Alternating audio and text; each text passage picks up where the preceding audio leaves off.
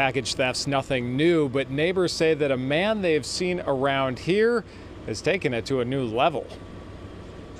He went right for the packages. As the man runs up to a stoop and tries to stuff a package in one of his many bags, an alert neighbor scares him off. I chased him down there, but you know, not as fast as I used to be, please. Jack Kennedy tried to follow, but he got away. this is the second time we've seen him on the street doing it. Days earlier, another attempt.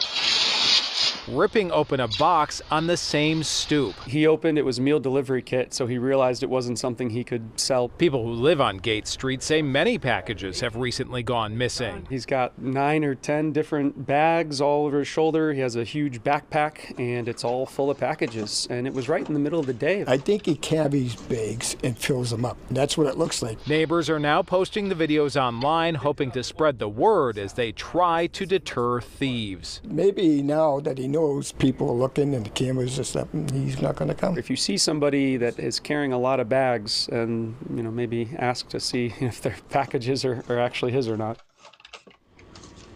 And of course, it is hard to prevent these thefts, but experts say that if it's feasible, you could try to have your packages shipped to your office.